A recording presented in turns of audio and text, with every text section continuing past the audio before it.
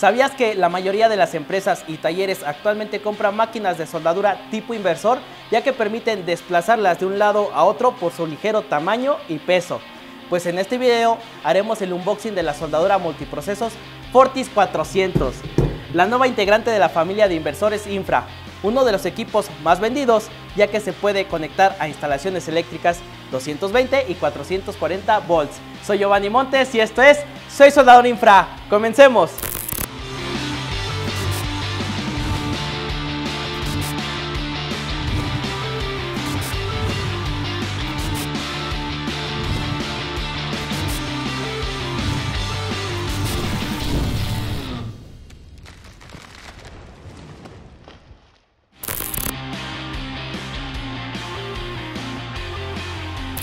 Lo primero que haremos será retirar el sello y abriremos las tapas.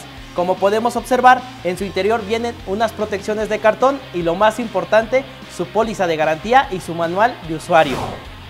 Pero antes de sacar el equipo, tenemos que saber que tiene un peso de 54.5 kilogramos y es un inversor multiprocesos. Esto significa que podemos aplicar electrodo, microalambre y TIC básico, además de corte con arcoaire. Interesante, ¿verdad? Ahora pediremos ayuda para sacar la máquina, ya que las normas de seguridad indican que un trabajador no puede cargar más de 25 kilogramos. Recuerda la seguridad ante todo. Muy bien, como podemos observar, el equipo viene aislado con plástico y con un protector de cartón. Por último, retiraremos las protecciones. Ahora sí, lo que todos esperábamos, el inversor con su entrada para cable de alimentación para 220 y 440 volts. Como podemos observar, está fabricado de plástico y lámina resistente a los impactos, además de las siguientes características. 1. Selector o display de voltaje y amperaje. 2. Interruptor de energía. 3. Cuenta con una perilla de control de corriente continua o voltaje constante. 4. Selector de procesos para soldadura. 5. Una perilla para control de arco o inductancia. 6. Interruptor de control para panel o remoto tipo cola de rata.